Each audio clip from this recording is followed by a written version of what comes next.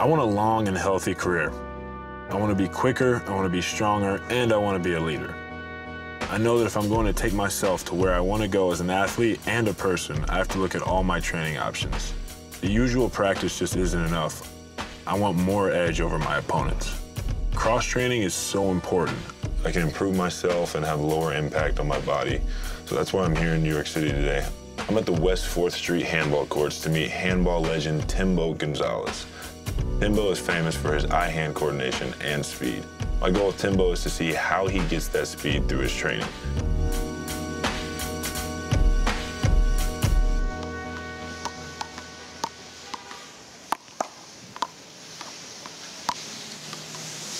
What's up, man? How, you doing? You all right? Good morning, bro. Nice to meet you. How's everything? Good, good, good.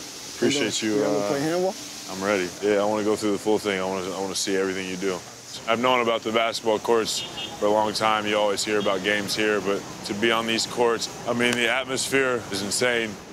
So basically, it's a follow through. You know, just always want to face your palm. Also, you always want to connect it, face it towards the wall. Right. Once you get used to it, you can start like aiming is different. You know, hand movements that you can do for different like shots, and they come out differently. Okay. You can put like some spins on the ball and stuff, but Okay. ba- basically like a follow through. You know, just throw it and then.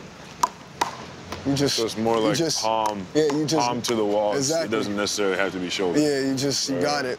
Get a good stance. That way you get a good swing, and just follow the ball. Just kind of guide it to the wall. Okay. There you go. Blake is nice, easygoing. You know, he's a quick learner. There you go. Oh, There you go. that left isn't, isn't quite as good.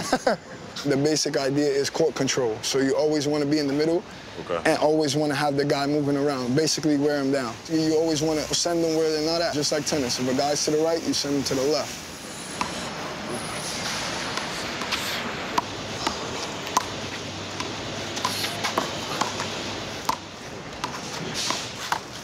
oh, That would have hit. That would have been a good shot. It was Couple right. more- It was right on the couple line. Couple more inches. Yeah, it was right on the line. I didn't know like what to expect. I also didn't know much about like the game. So once we kind of got that down and got into the workout, the one thing I definitely wasn't ready for was the endurance factor and just how much you have to move your feet. So let's get the medicine ball. It's like eight pounds. Pretty sure. It's nothing to you. It's pretty light. All right. Get over here. Ah.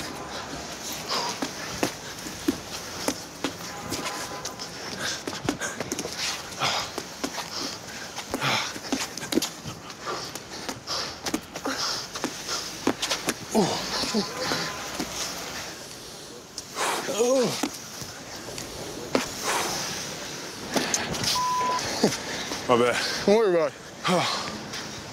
I was dripping sweat when we were doing the medicine ball against the wall, and Timbo was just kind of.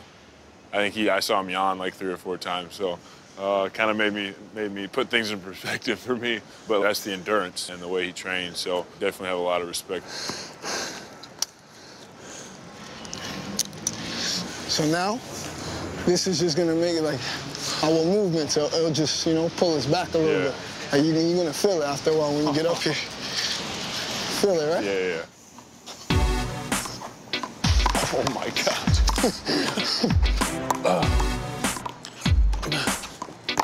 There you go. Let's go, lady. Go. Get in there. Best with the resistance bands, endurance was crazy, but then you're still having to find the ball, make the right moves, footwork. It teaches you how to backpedal. It teaches you how to move side to side faster, and it gives you more core strength. But then also you're doing something that doesn't just come naturally. You're having to think a little bit harder. You're mentally being fatigued as well as physically. So that's one thing I loved about this is like I'm trying to remember all the things he's telling me, but at the same time we're going through this workout. For him, it's easy. But for me, having to go through that mental and physical thing at the same time, I think just kind of pushes you to have next level workout. It's a lot smarter way of training. So you ready for a game of handball? Let's play one quick game. Sure. When you want to play the 21 or 11? We'll go 21. Let's 21, full game? All right, Yeah. cool. Just be you. Go hard, try to score on me. But Okay. yeah, you get first serve, remember? You get two tries to get it over that line, keep it Okay. in this box, and then from there we rally. Okay. Could only score on your serve. Game 21, let's go. All right. There you go. Oh. Good try. Ready? Yep. Ball.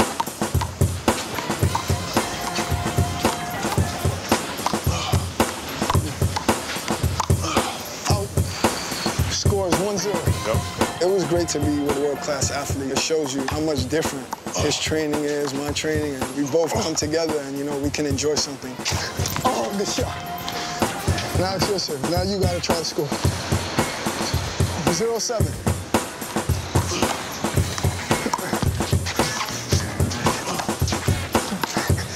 Good shot. One seven. He's really good. I never had anyone able to hit the ball to me back as many times as he did. He got down to the basics and he learned how to place the ball in angles. And he's a big guy, so it was pretty you know, hard trying to see the ball around him. And every time he sent me an angle, like I couldn't really read it, so I had to really focus on how to get to the ball and just get it back to him.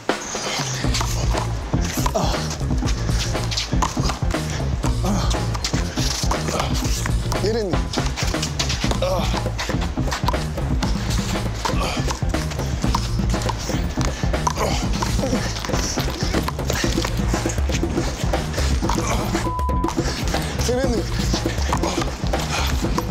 Get in there. Get in there.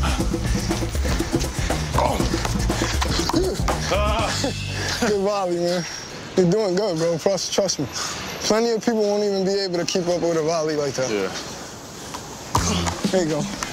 Go for your shot. Go in there. There you go.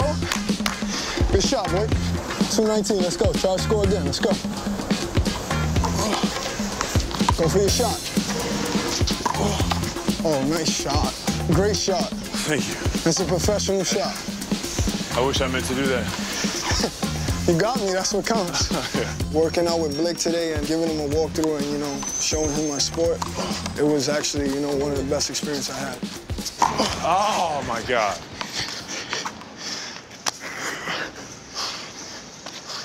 Give me some. Yeah, man. This game, man. Appreciate it, man. This game, man. Good playing, baby. Thank you. That's crazy, man. I got a lot, a lot of respect for you. The biggest takeaway for me is the constant reading and reacting. You're constantly watching the ball off the wall, moving your feet, trying to get in front of the ball, chasing the ball, and that's everything we do defensively in basketball is just reading and reacting to the play, the man, the ball, everything. So this is a great just read and react drill. That was awesome. That was, that was perfect. I appreciate it, man. Thank you very much, man. Good luck to you, bro. Next for me is track and field. Obviously, basketball is a lot of running, fast breaks, things like that. So try to incorporate that into my game a little bit more. Come on, come on, come on, come on, let it.